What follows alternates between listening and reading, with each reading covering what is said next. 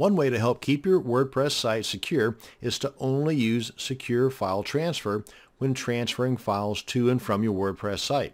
Now, if you are manually installing your WordPress site using an FTP client, you know, kind of like FileZilla, like what I'm going to be demonstrating with here, if you are, for example, prompted within your WordPress site to supply your FTP credentials in order to update plugins and or the WordPress file, only use the SFTP option. Now in this demo, I'm going to show you just how easy and fast it is to set up the free FileZilla FTP client software for secure file transfer. In my handy dandy little timer here, show you just how fast it is of that easy and fast part I was talking about. And that is how quick and easy it is to set up your secure file transfer or SFTP